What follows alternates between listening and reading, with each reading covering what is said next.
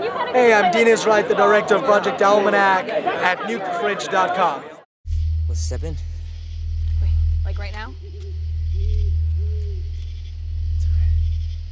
It's okay. We're gonna be okay. Chris, come on, we're getting close. All right, you guys ready for this?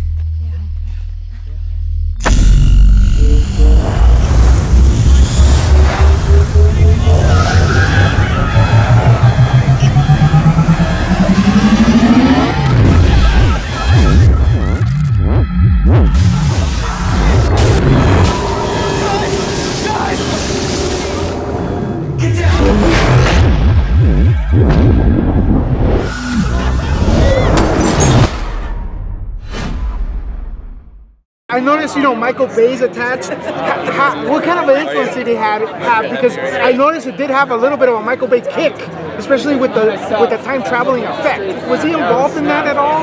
Well, I, uh, I, I got to work with the best people because we have Michael's name attached to the movie, which is always really helpful.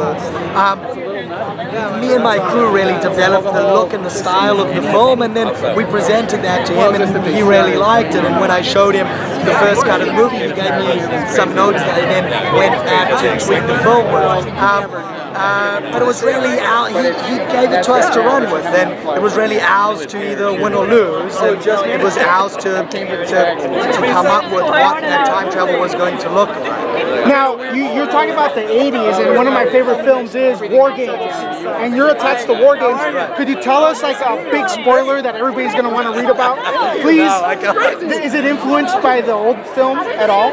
I will say this: it's influenced in the way that that movie was bold uh, and sophisticated for its own time, and we are trying to make a bold and sophisticated movie for our time, and we're trying to take the spirit of what that did. Of course, the story has to be totally different. Crazy. Um, so therein lies the challenge. But I think if there's any movie that is primed to be remade, if there's any movie that can say something new today, it's War Games.